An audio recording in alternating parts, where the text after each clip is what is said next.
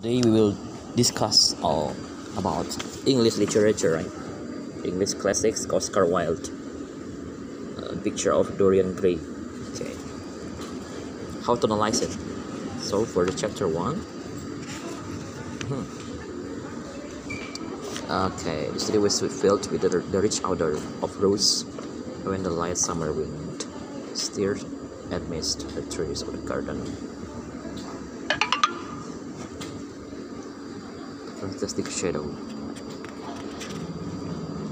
So for the chapter one um, it's discussing about the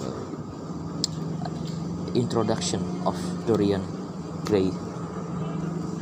So the studio was filled with the rich odor of rose and when the light summer wind stirred and mist entered the garden tree pink flowering thorn